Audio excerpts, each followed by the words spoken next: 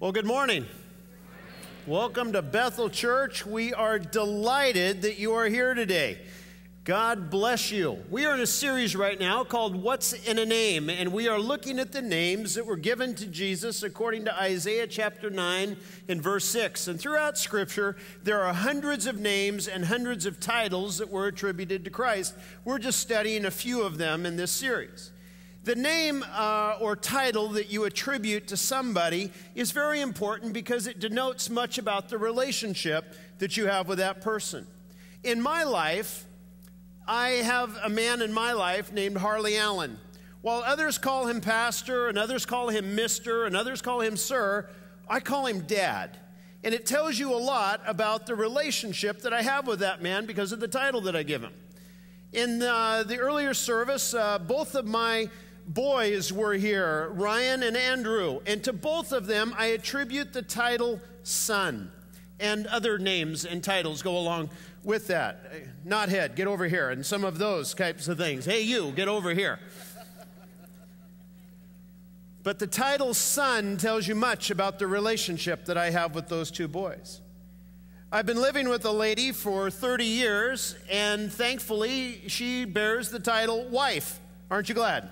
That the lady I've been living with, I'm married to. Isn't that a great thing? Hallelujah for that. The titles that we attribute tell much about the relationship that we have. Jesus himself said, Why do you call me Lord, Lord, and then not do the things I say? Because when we attribute the title Lord, there are some responsibilities that we have there. There are some other people in this world, and they just say of Jesus that he was a great man that he was a great teacher, that he was a moral man. And each of those, they are denoting what their relationship is like with Jesus, that it is a distant relationship because they see him as something less than he is. And in this study, we are revealing the titles and the names of Jesus. And these are so important to us as individuals because each of them has a threefold significance in our lives. The first one is that it reveals an aspect of who Jesus is. And I just want to say that as we are looking at the names of Jesus, you don't get to pick and choose the ones that you like and accept those. This simply is who Jesus is. This isn't a cosmic smorgasbord where you're getting to pick who Jesus is. This is who Jesus is, and all of these aspects are true of him in each life in which he is the Lord. The second thing is that the name or the title reveals a key principle that we need to apply to our life. And the third thing is that each name or title reveals our responsibility in relationship with Jesus. The first week, we talked about the word wonderful, that Jesus is wonderful because he takes care of the dullness of our life. The second week, we considered the title counselor because he takes care of the decisions of life. Then we talked on our third week about mighty God because he takes care of the demands of life. And today I want to talk to you about the title Everlasting Father. Everlasting Father. Isaiah 9 6 says this For unto us a child is born, unto us a son is given, and the government shall be upon his shoulder. Now, I spent a lot of time developing that sentence and those thoughts on the very first week of this series. If you missed that, you can get that on our website under our sermons tab. But I spent a lot of time developing that sentence. The scripture continues, and his name shall be called Wonderful, Counselor, the Mighty God, the Everlasting Father, the Prince of Peace. Jesus' name includes the title Everlasting Father because he takes care of the dimensions of life. The dimensions of life. Jesus Christ, the Son of God, bears the title Everlasting Father, and this appears to be a theological contradiction that you could have the Son all of a sudden being the Father. Now, in, in the Trinity, in the triune Godhead, there are three characters that make up God God the Father, God the Son, and God the Holy Spirit. Each of them is a separate entity, and they come together to make one complete God. The Father can't be the Son, nor can the Son be the Father, so there is a different uh, meaning that is at work here. The answer, of course, is the use of the word Father. Isaiah, when he was writing this passage in the Old Testament, the word father was recognized to have two meanings. The two meanings of this word father were number one, uh, the originator of, and secondly, the author of. So, what is being said of Jesus here is that he is the author of eternity, or he is the originator of eternity. This idea of giving these names, uh, author of or originator of, Jesus in John 8 44, when he called Satan the father of all lies, he was saying he was the originator of all lies or the initiator of all lies. In Genesis 4:20, Jabal was called the father of those who dwell in tents and have livestock. And in Genesis 17:5, God changed Abram's name to Abraham, the father of many nations. In calling Jesus the everlasting Father, he's saying that he is the originator of eternity. He is the originator of forever. And this topic has been a struggle for me to get ready to preach to you. It's been a struggle for me to get ready to preach to you for two reasons. One of them is because of me, and one of them is because of my listening audience. The first thing is that I struggle within myself on these topics of what's eternal and what's temporal.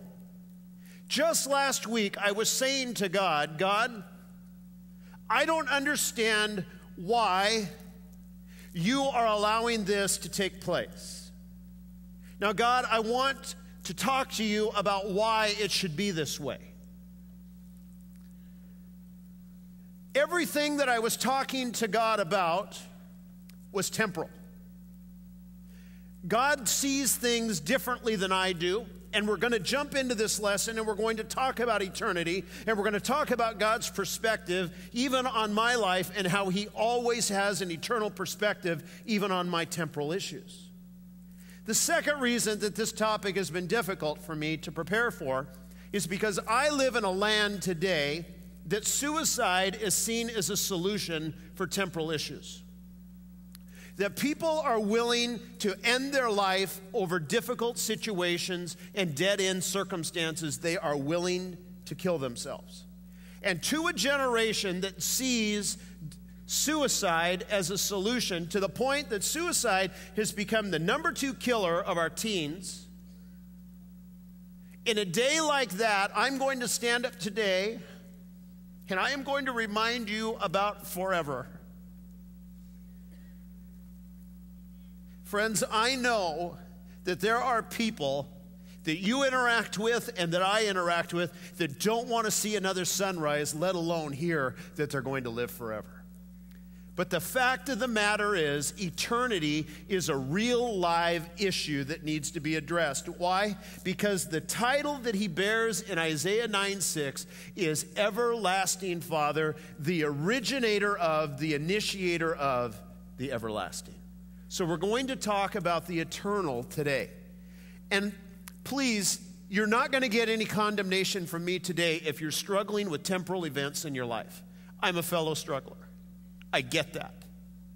I'm not going to come down on you because you're worried about a doctor's report or a PG&E bill or something else that's going on in your life while you deal with the, uh, the temporal. I want to bring some encouragement to you today about the eternal perspective that God has and how that affects your decision making even this week in the temporal setting that you find yourself in.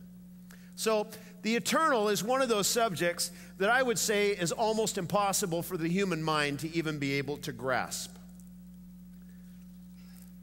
Man is a beginning, but man has no ending. That's not like God. You see, God's eternal.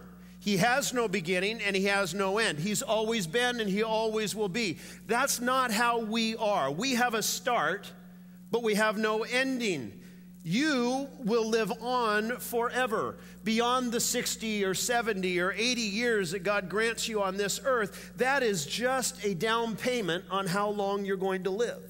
Man will live forever. And you're either going to live with God forever or apart from God forever, and those choices belong solely to you. The Puritan preacher, Thomas Watson, said this Eternity to the godly is a day that has no sunset And eternity to the wicked is a night that has no sunrise.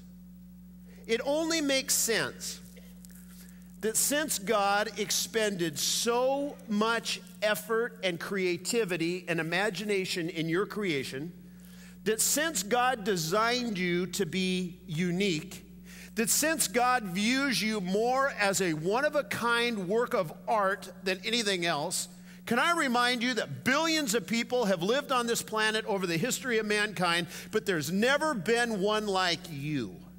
Even if you're a twin or a triplet, there's never been one like you. Your fingerprints, your DNA, even your retina is completely different from anybody else that's ever lived because God went out of his way to remind you at every opportunity that you matter as an individual. You're not one of a group. You're not one of a clump. You're not one of a church. You're not one of a denomination. You're an individual and you matter as a person as a work of art to God.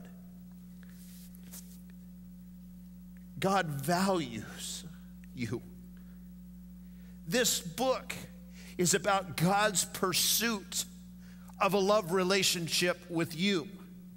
And there are chapters in this book that are unbelievable in God's pursuit of you as a work of art where he sends his only son to die on a cross so that you can become a part of eternity with God. That where I am, you may be also. God has reached and reached and reached and is reaching today to ensure the fact that your eternity is one that is spent with him. God wants you ultimately, the design He has for you on life is the ultimate design that you would be with Him forever. And then He backs up and says this, but the choice is yours. I want you to be with me. I love you. I'm reaching toward you. I have sacrificed my son, but the choice will be yours. You were made for eternity. Ecclesiastes 3:11 says this. He made everything appropriate in its time. He has also set eternity in their heart. You were designed with eternity in mind. You were designed, and while there's an expiration date stamped somewhere on you where you are going to die, it is appointed unto a man to die. We know that. None of us gets out of this thing alive. That's just the beginning. And God even stamped on our hearts a yearning toward eternity. I think that's what all of science and philosophy and religion is all about to ascend somehow above this temporal, temporary uh, time frame that we're in and somehow reach up above us and touch what's eternal. I think that's what all those studies are about. And the thing that's cool about it is God put that in you. He put that in your heart that there would be a yearning and a leaning into eternity.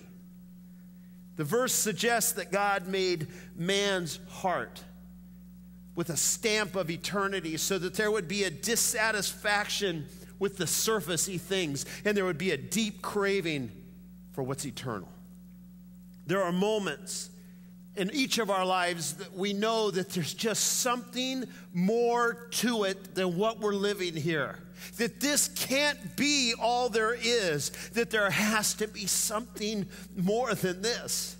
And there is, and the reason you say those things to yourself is because God stamped that into your very being, that you would yearn for eternity. We know that life is brief.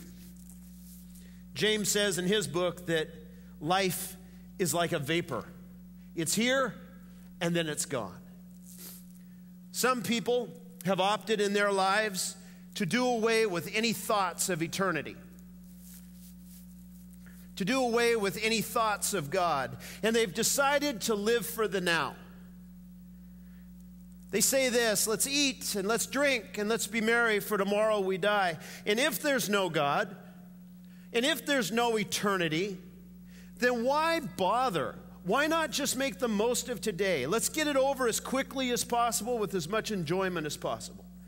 And really, the only solution to the tension that lies between the fact that we are in the temporal and that we are designed for eternity, that somehow we have to deal with the problems of this life, and tomorrow you have to get up and deal with the stuff of this life, and at the same time you're being prepared to live forever with God. The only way that we can deal with the tension of those two things is the fact that Jesus came and put on himself the title Everlasting Father, the designer, the originator of eternity. Wow eternity invaded time when Jesus was born. God creates us for eternity, and Jesus came to earth so that we would have the possibility of sharing in what is eternal. And this book shares much about who God is. This book des- describes the creation account at the beginning of this book.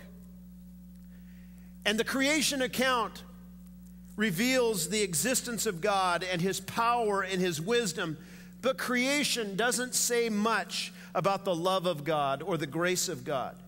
There's much in this book about the law, and that the law tells us that God is holy and that he's just and that he desires his people to be holy. But the law can't change a sinner's heart or control his motives and his actions.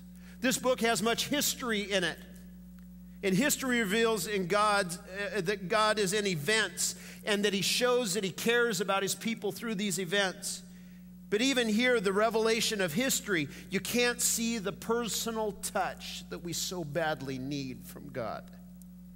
It was sending his son to this earth and having what was eternal invade what was temporal that made the difference. And it wasn't a temporary visit, it wasn't a flyover, it wasn't a weekend stay. He altered the entire relationship between time and eternity upon his visit.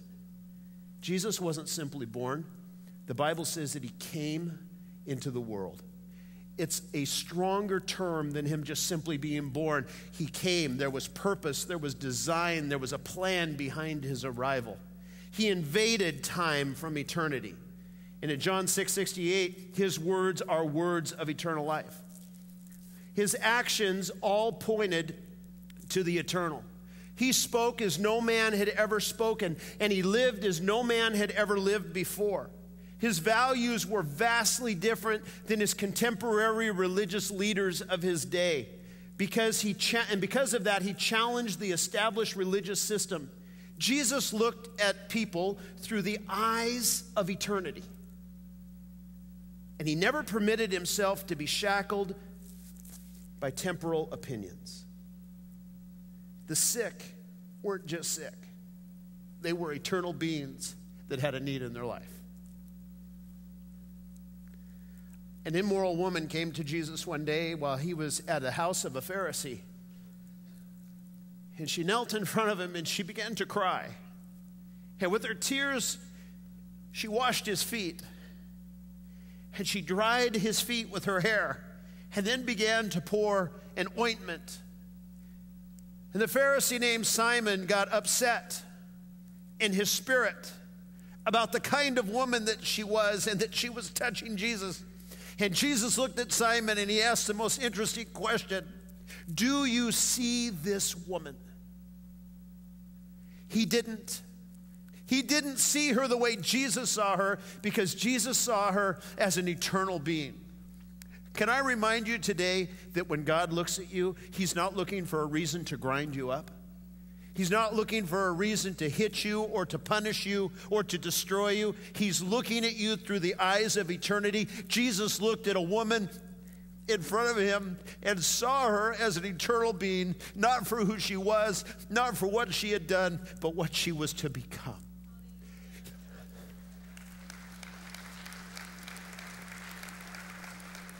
To every one of you in this place today, God isn't just looking at what you are, He's looking at what you're going to be. God looks at you through the eyes of eternity. That should be the most encouraging thought that any of us have that God would take time to look at us at what we can be and not just what we have been. That's what creates such an incredibly strong love that Jesus could die on a cross.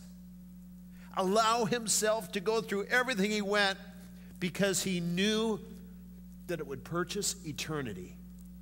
And he saw us for what we could be in all of eternity and made it possible for us to be there with him. Sinners were never outcast to Jesus. They were just lost sheep who needed a shepherd. The sick were not a threat or an inconvenience, they were just people who needed a physician. Almost everything that Jesus talked about, anything that he touched, it took on a new dimension because he's the Father of eternity, he's the everlasting Father. Ordinary bread and wine took on all new meaning when he put his hand upon them and spoke over them. This body, this bread is my body, which is broken for you. This cup is the new covenant written in my blood.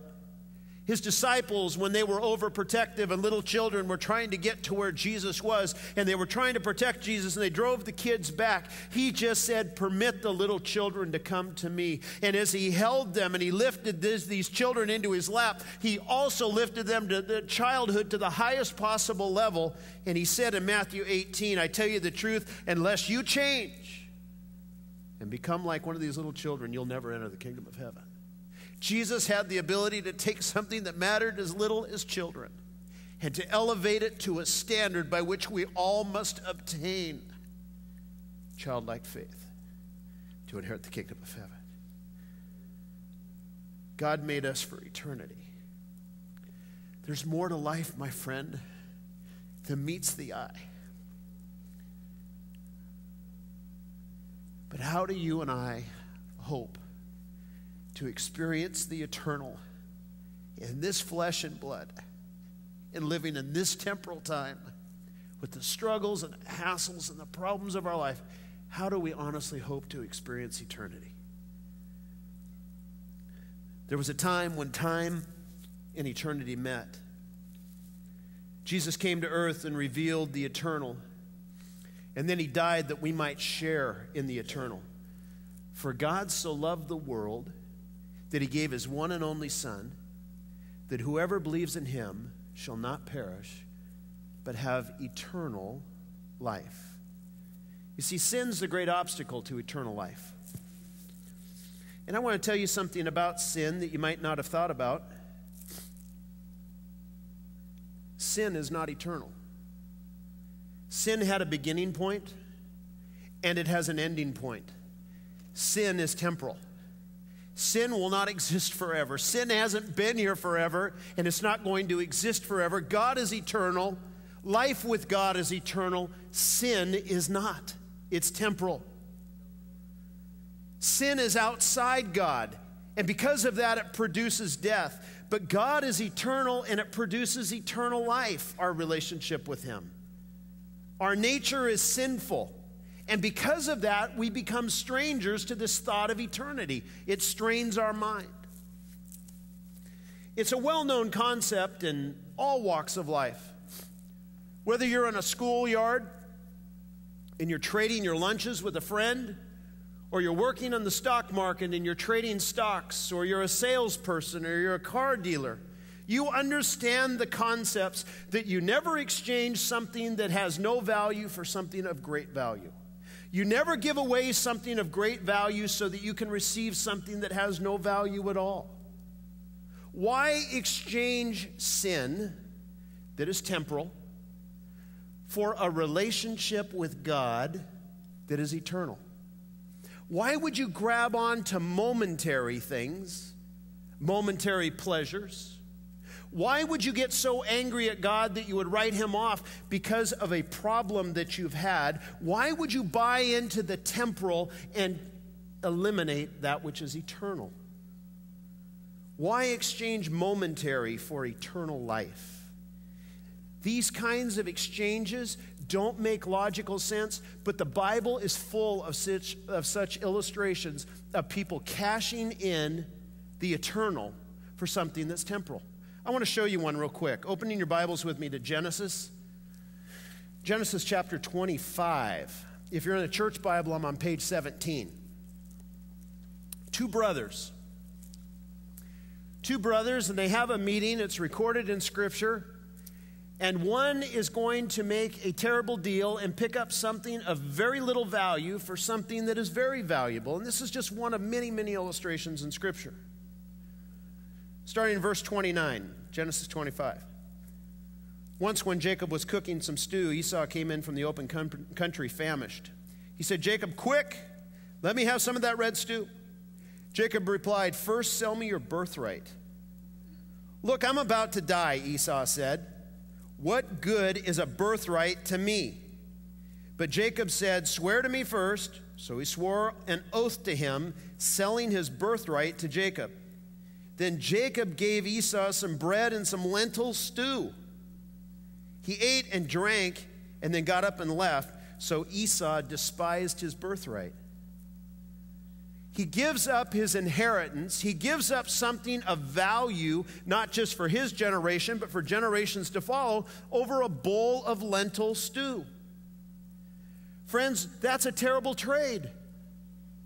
And we have people in our land that are exchanging things that are just that bad of a deal.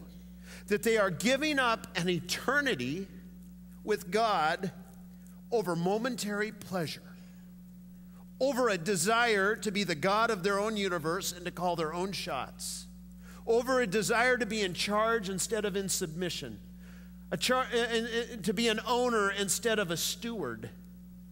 And they are cashing in something far more value than the momentary right of being in charge.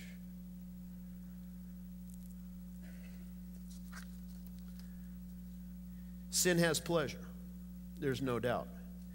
Hebrews 11:25 tells us that. Talks about Moses that he chose to be with God's people rather than to enjoy the pleasure of sin for a short time.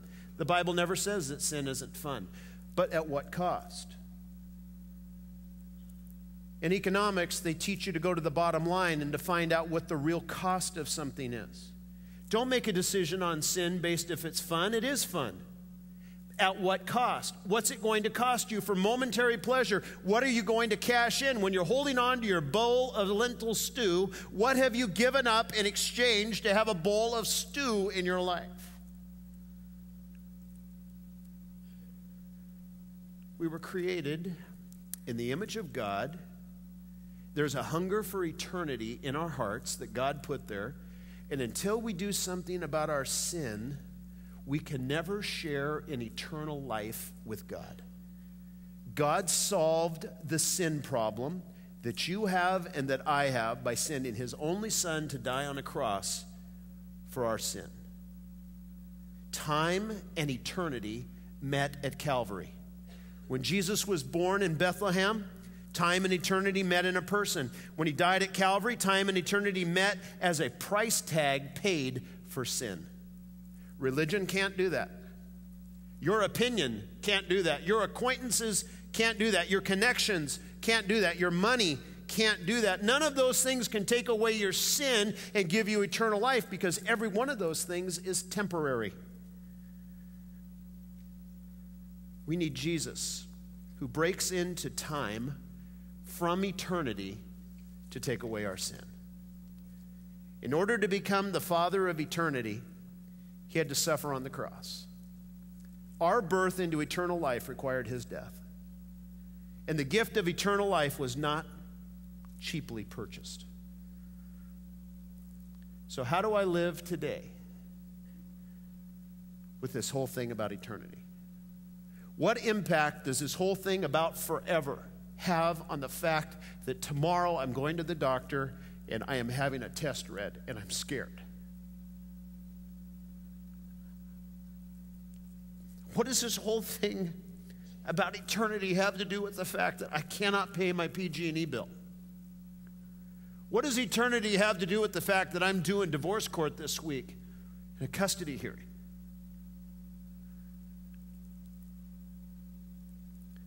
Jesus is the Father of eternity. He lives now to give eternal purpose and quality to your everyday life. Sin is the great waster. Satan is the great destroyer. And in our world, most of our people on this planet have chosen to merely exist and not to really live life. What they live on doesn't satisfy. it will never last eternally. And a vast majority of people have selected substitutes. And substitutes are robbing them from the true experiences of life that God wants people to enjoy. You want to know the heart of God? You want to know the goal of God? Jesus said it himself in John 10:10, 10, 10, "I have come to give them life and life to the full." Eternal life? Yes, he's going to take care of that. But this life was intended to be lived in a way that was satisfying and full. The events of everyday life take on new priority in the light of eternity. We all deal with problems and conflicts, issues, pain. We also deal with victories. We also deal with celebration. We also deal with good things. And the way that we deal with each of these is different when we understand that we are eternal beings. Eternity, a mind bent toward eternity, changes the way that you respond. Jesus modeled this kind of life. When Jesus got into some difficult situations, it was an eternal timetable that, that was obviously stated in response. You can't read the gospel without seeing a divine timetable that has to do with eternity and not just temporal situations that are being addressed. In John 7, when his enemies tried to arrest him, they found it impossible, and this is what's recorded because his time, his hour, had not yet come. When the religious leaders wanted to arrest him while he was preaching in the temple, they failed because his hour had not come in John chapter 8. And at the climax of this whole story in the Garden of Gethsemane, as the soldiers came and the arrest was made and there was a betrayal and a kiss on the cheek, Jesus simply said this Father, the hour has come. Jesus dealt with the tough times that way.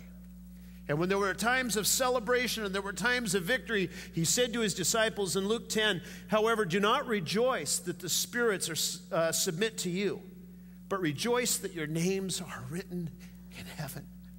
Don't rejoice in the temporal, rejoice in the fact that you're going to live forever. David said in the Psalms, My times are in your hands. Does God still plan and guide us through life? Yes, He does. His plans include the eternal part of who you are. His plans include the temporal part of who you are in light of eternity. The way Jesus views you is completely framed by eternity. And the reason that Jesus came and died for you is your eternity.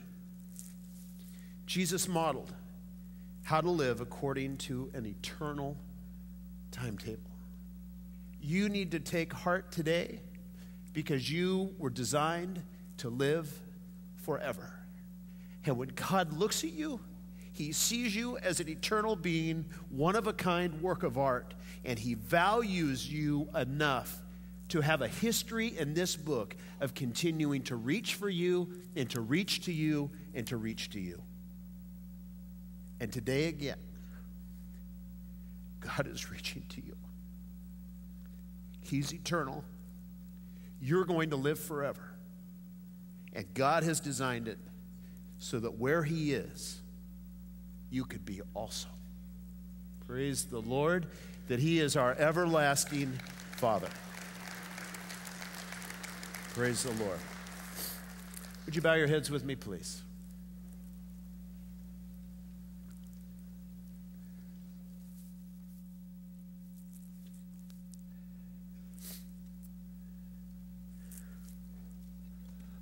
I personally understand this tension between the temporal and the eternal. This week, when I asked God why, as I studied this lesson, I just felt uh, quite a bit of conviction about the questions that I had forced at God. And I came back around this weekend in some quiet time between me and the Lord, and I just said, God, I'm sorry for pushing you with a why question. What do you want me to learn? What? Do you want me to change so that I can be better prepared to live in eternity with you.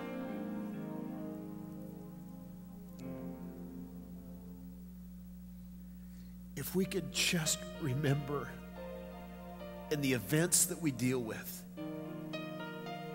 that we're eternal and that God has an eternal perspective. And that from the time you were created, you were designed and pushed toward eternity. It would change the annoyances, the problems, the issues of life. I've spent a lot of time today talking about the fact that Jesus died for our sin. I spent a lot of time today talking about eternity with God in heaven. And I mentioned two or three different times that you have a choice in that. And I think it would be very incorrect of me to end this message without giving you an option, an opportunity to accept Christ as your Savior, since it is your choice if you want to spend eternity with God in heaven or not.